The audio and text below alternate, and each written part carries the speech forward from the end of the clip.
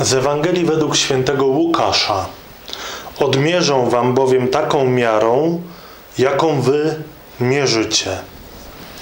Dosłownie kilka tygodni temu w Soczi na Olimpiadzie polski panczenista Zbigniew Brudka wygrał ze swoim rywalem o 3000 sekundy. To wstrząsające, że tak krótki okres czasu można policzyć. Wstrząsające, że taką miarę, tak dokładną miarę dla wyników sportowych posiadamy. Jednak nie wszystko na świecie można zmierzyć. I o tym chyba dzisiaj mówi Pan Jezus, kiedy prosi, byśmy nie mierzyli swoją miarą innych ludzi, byśmy nie sądzili, byśmy dawali więcej niż otrzymujemy, byśmy bardzo uważali z tym przekładaniem ludzkich kryteriów przy osądzaniu.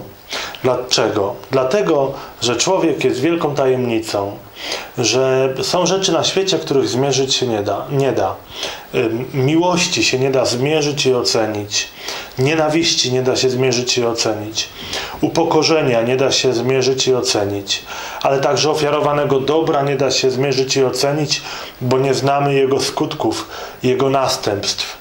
Nie da się wreszcie zmierzyć i ocenić miłosierdzia, jakim Bóg nas y, okrył, jakim nas obdarował.